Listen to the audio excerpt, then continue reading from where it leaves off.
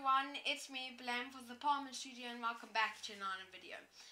Um, unfortunately, I will have to move the video to tomorrow. So, yeah, get ready for video tomorrow.